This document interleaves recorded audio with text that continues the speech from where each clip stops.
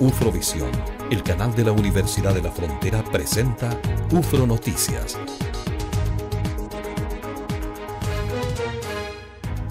¿Cómo están y bienvenidos a una nueva edición resumen de UFRO Noticias con algunos de los hechos más importantes que han acontecido en la capital regional y en la Araucanía durante los últimos días. Sin inconvenientes se desarrolló en Temuco una marcha donde comuneros y dirigentes mapuche cuestionaron el proceso de consulta indígena que se realizó eh, durante esta semana. Los manifestantes aseguran que la iniciativa viene a modificar una situación que permitirá posteriormente vender predios indígenas. A eso del mediodía de este lunes, cerca de 500 personas marcharon por el centro de Temuco en una manifestación convocada por agrupaciones mapuche que se mostraron disconformes con el proceso de consulta indígena que se inicia este miércoles en todo nuestro país.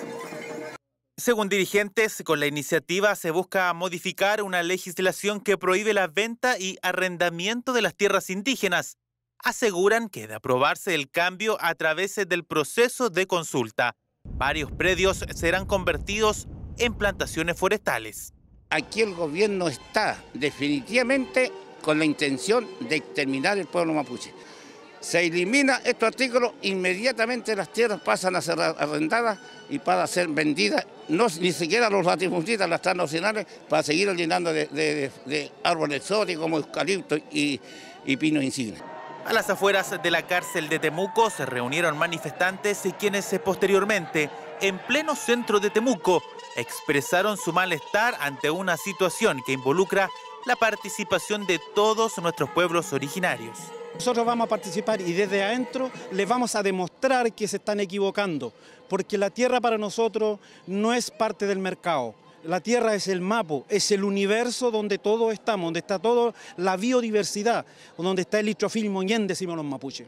En la oportunidad, dirigentes de la comunidad Mariano Millagual también tuvieron palabras para la compra de terrenos del subsecretario Rodrigo Villa en la comuna de Pucón, hecho por el que aseguran llegarán hasta las últimas consecuencias, más aún cuando señalan que los predios adquiridos por la autoridad de gobierno corresponden a terrenos mapuche.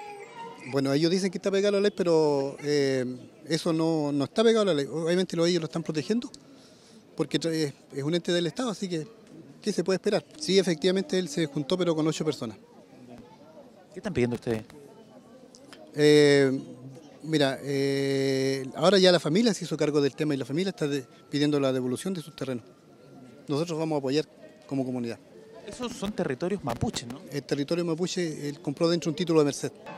Este miércoles en Padre Las Casas y Cunco se inicia un proceso de consulta indígena que estos manifestantes cuestionan.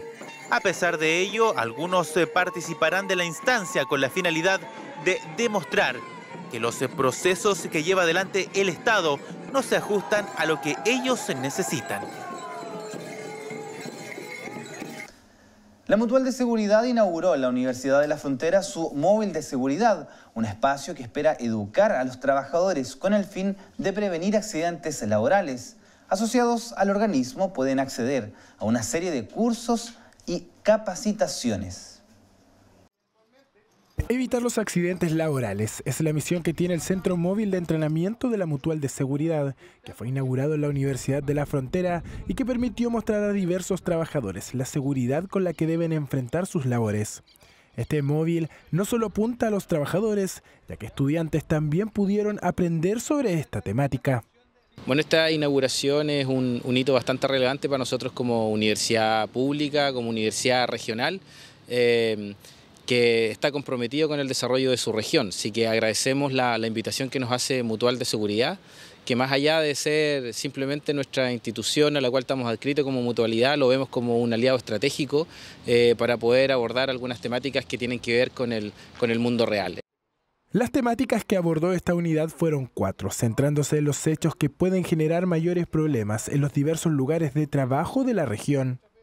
Tenemos cuatro grandes temas que, tratamos, que principalmente son aquellos riesgos que son más significativos en el mundo de la construcción, que son los riesgos en altura, eh, trabajo de espacios confinados, riesgo en trabajo eléctrico y también el riesgo de trabajar con camiones frontales o retroexcavadoras.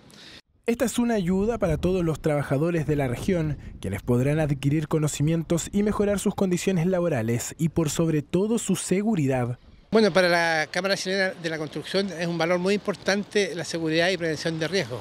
Por, eh, lo tanto, encontramos muy relevante que la Mutual de Seguridad, que es una empresa Cámara, eh, haga este tipo de actividades para difundir entre los trabajadores lo que significa la seguridad y prevención, que finalmente favorece a ellos mismos, a los trabajadores, tanto también a las empresas y a la comunidad en general.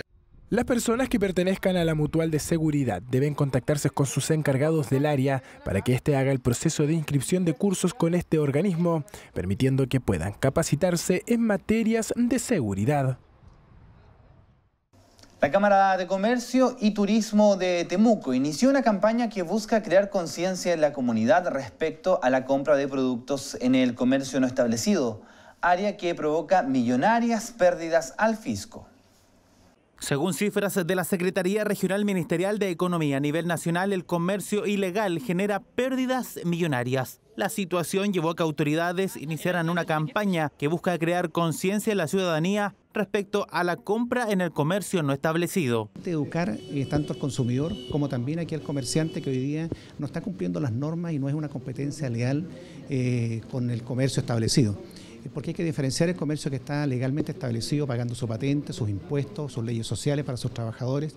Hoy día el fisco, el Estado de Chile, pierde alrededor de 5 mil millones de dólares de manera anual por el comercio no formal y en ese sentido, si estuvieran formalizados, podríamos, ¿no es cierto?, utilizar esos recursos para poder hacer una infinidad de programas sociales Juguemos Limpio lleva por nombre una iniciativa impulsada por la Cámara de Comercio y Turismo de Temuco. Las hortaliceras del centro de Temuco y en su mayoría revendedores de productos son a juicio del gremio del comercio temuquense, una de las razones que han disminuido los ingresos en el comercio del centro de la ciudad.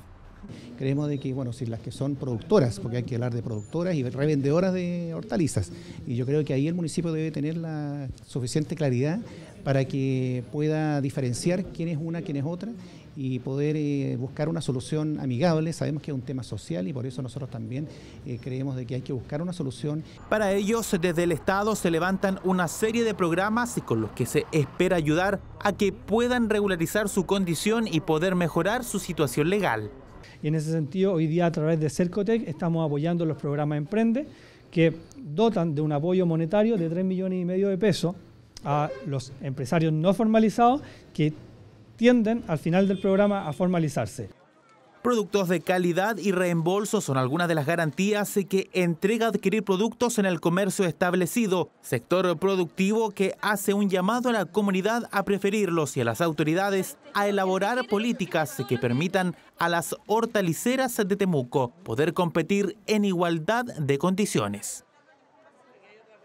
En libertad y sujeto con medidas cautelares quedó el ex fiscal militar de Cautín, Alfonso Podlech, que el pasado lunes atropelló a una mujer en Villarrica que falleció en el lugar.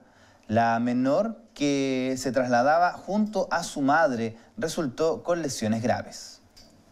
Fue eso del mediodía del pasado lunes cuando el ex fiscal militar de Temuco, Alfonso Podlech, protagonizó un accidente de tránsito donde falleció una mujer de 36 años y dejó a una menor con lesiones de gravedad.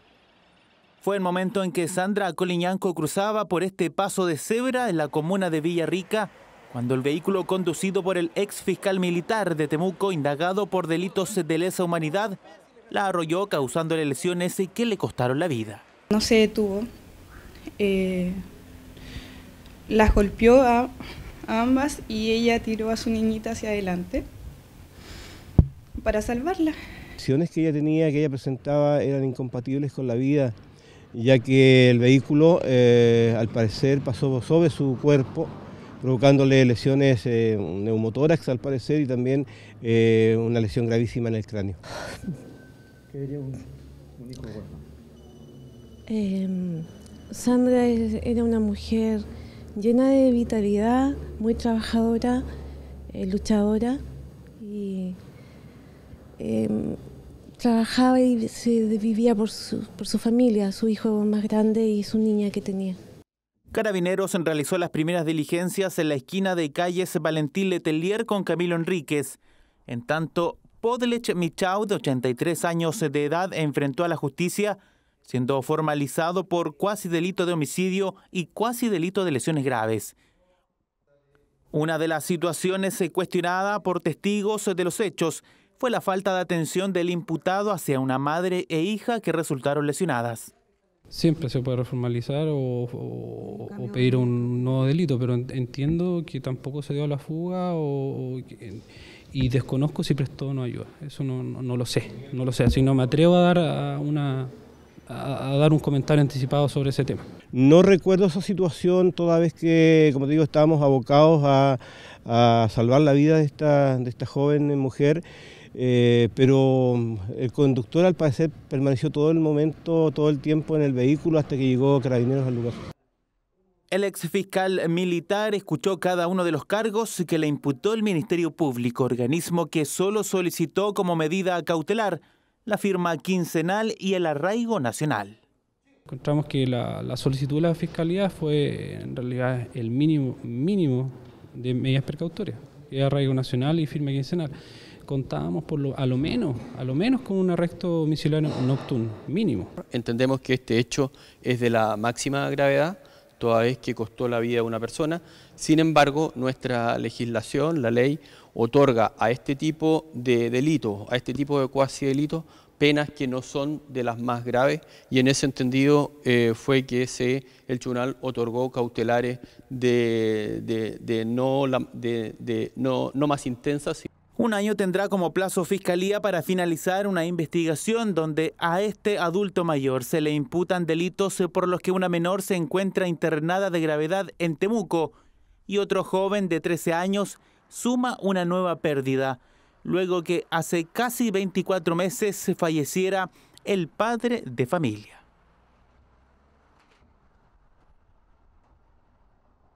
Esta semana se pronosticó un nuevo episodio de emergencia ambiental, por lo que se prohibió el uso de artefactos a leña dentro de los polígonos de restricción en Temuco y Padre Las Casas.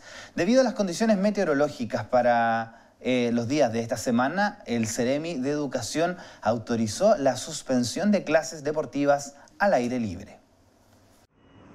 Para los próximos días en la Araucanía, las temperaturas mínimas bordearán los 0 grados, lo que sumado a la escasa ventilación y falta de precipitaciones, forman el escenario ideal para que los índices de contaminación se vuelvan críticos. Durante este año se han registrado ocho episodios de contaminación en Temuco y Padre Las Casas. Uno de ellos se corresponde a emergencia ambiental. Para este miércoles se pronosticaron altos índices de contaminación, por lo que se prohíbe el uso de calefactores hasta las 6 de la mañana del jueves. Se está notando la llegada del invierno y con esto también eh, estos, estos episodios de emergencia. Hoy día tenemos pronosticada una emergencia y el llamado es apagar los equipos calefactores a leña entre las 8, perdón, entre las 6 de la tarde y las 6 de la mañana del día siguiente. A un mes de la llegada del invierno, las autoridades ya anunciaron que dentro de los próximos días se abrirá el concurso para el recambio de calefactores. Los recursos ya estarían asegurados y para este 2019 habrá equidad en la entrega de nuevos artefactos para calefacción, privilegiando a los hogares que se encuentran dentro de los polígonos de restricción. Bueno, nosotros tenemos un presupuesto asegurado y que, esperamos tener eh, cerca de 1.600 eh, unidades de calefactores para colocar entre las comunas de Temuco y Padre Las Casas y en una focalización de 50% y 50%. Debido a los altos índices de contaminación que se pronostican para los próximos días y como medida preventiva, desde la cartera de educación autorizaron la suspensión de clases deportivas en áreas abiertas. La normativa nos indica que cuando estamos en un estado de emergencia tenemos la obligación de suspender las actividades de educación física. La decisión la debe tomar el profesor, obviamente en acuerdo con eh, el equipo directivo, pero en función de la información que nos está entregando la Ceremi de Medio Ambiente. Exposición a excesivas concentraciones de material particulado fino y aumento de enfermedades respiratorias son algunas de las proyecciones para los próximos días. Usar combustibles alternativos con baja humedad y abrigarse será la tónica que se vivirá durante las próximas horas en parte importante de nuestra región de la Araucanía. Esta semana se dio a conocer también un video viral que reveló un cruel maltrato animal. El crudo registro muestra el momento en que una camioneta arrastraba a una perrita. Su nombre es Negrita y hoy está en proceso de recuperación gracias a una familia que se hizo cargo y denunció el hecho a la fiscalía. Hasta el sector ganadero de Temuco llegaron autoridades eh, para dar a conocer un programa de gobierno que busca facilitar el trabajo a millones de familias de nuestro país que a diario luchan por salir adelante. Clase media protegida se llama una iniciativa donde se reconoce la labor este importante sector de nuestra sociedad. A través de una plataforma web, los usuarios podrán conocer una serie de beneficios a los que pueden acceder desde la comodidad de su hogar. Eh, todas las personas van a poder acceder y van a ver la noticia y van a poder tener su clave única y hacer un montón de trámites y postular a algunas cosas que uno no sabe. Clasemediaprotegida.gov .cl es la dirección web donde los interesados encontrarán una serie de beneficios entregados por el Estado como subsidios, apoyo a víctimas de delitos, gratuidad y un seguro de salud que entrega seguridad al momento de una atención de urgencia. Conocer cuáles son los beneficios que el Estado ya les otorga, pero además vamos a incorporar, ¿cierto?, este nuevo seguro que va a dar una protección y una seguridad y tranquilidad para poder acceder a las atenciones en salud en caso de enfermedades catastróficas. De tal manera que tengamos, eh, perdamos el riesgo y, y perdamos el miedo a que cuando uno en algún minuto cae enfermo que han endeudado y, el riesgo que ello significa no solamente para la persona, sino para su grupo familiar. Tener clave única es el requisito para acceder a más de 70 beneficios que se entrega a la clase media. Se centraliza, por ejemplo, información del registro social de hogares, del FONASA y además información de utilidad. De estos 70 beneficios que la clase media puede acceder, están todos en una sola plataforma, en forma muy práctica, muy fácil, eh, georreferenciado para mostrarlo más cerca a uno, digamos. Información personalizada que busca convertirse en un apoyo para miles de familias de nuestra región, quienes han logrado salir adelante con esfuerzo y dedicación. Cerca de cuatro meses han pasado desde que los incendios forestales arrasaran con miles de hectáreas de terreno en la Araucanía, una emergencia que además destruyó varias viviendas. Por este motivo, algunas de las víctimas recibieron su vivienda definitiva. El pasado verano el fuego no tuvo piedad y arrasó con miles de hectáreas de terreno en unos incendios forestales que además se convirtieron cosechas y escuelas en cenizas. En la comuna de Cholchol y Nueva Imperial, personas fallecieron producto de una emergencia que también consumió 24 viviendas. Los rastros de la emergencia aún son visibles desde el aire. Le doy gracias a mi vecino que tengo aquí. Ellos me vinieron a sacar. A lo mejor si no me habían sacado, iría con mi casa. Yo no quería salir ni por nada. Mi, mi nietecito me decía, el material se contra, abuelita, salgamos, salgamos. A poco más de cuatro meses de estas imágenes y posterior a la entrega de las primeras viviendas, ya se entregaron a los afectados sus nuevas casas definitivas. Moradas totalmente amobladas que vienen a dar una solución real a quienes fueron afectados por los siniestros forestales. Lo perdimos todo, como decía usted, y y por lo mismo agradecerle a Dios por todo que hemos recuperado ahora nuestra casa, una casa bonita, bien hecha, una casa definitiva y, feliz por eso, feliz, contento. Como lo principal donde te reunís con toda tu familia, con toda tu gente más, más cercana, o que entría tu pieza, tengáis tu cama cómoda, eh, para uno impagable. Una alianza público-privada permitió levantar una iniciativa que reconstruye parte importante de las viviendas destruidas por los incendios forestales del verano. En esta ceremonia se entregaron las primeras cinco casas de un total de 24. Las faltantes serán cedidas a sus propietarios durante las próximas semanas. 24 casas en tres comunas diferentes y el resultado hoy día está a la vista. Son casas de primer estándar, completamente amobladas y que le otorgan mayor dignidad a las personas que vivían aquí en unas condiciones ah, muy veces vulnerables. Van a poder empezar a habitar tras unos poquitos meses una vivienda de un estándar bastante bueno que les va a permitir elevar su calidad de vida y ahora que, que está empezando el invierno con mayor razón. Las viviendas que se quemaron aquí en, este, este, territorio fueron 24, nosotros estamos eh, reconstruyendo 22 de ellas. Estas son las primeras cinco, las demás están en construcción, esperamos dentro del mes de julio eh, terminar todas las, viviendas que están en, en reconstrucción. En una ceremonia donde no estuvo ausente la cultura de nuestros pueblos originarios, se dio por entregada de manera oficial las llaves de sus nuevas casas a quienes hace unos meses fueron víctimas de los incendios forestales que azotaron a nuestra región de la Araucanía. Y esas fueron las informaciones en esta edición resumen de UFRO Noticias. Como siempre le agradecemos su sintonía y lo invitamos a seguir informándose y a revisar cada una de estas informaciones en nuestra página web ufromedios.cl. Sigan sintonía de Ufrovisión, el canal de la Universidad de la Frontera. Ufrovisión, el canal de la Universidad de la Frontera, presentó UFRO Noticias.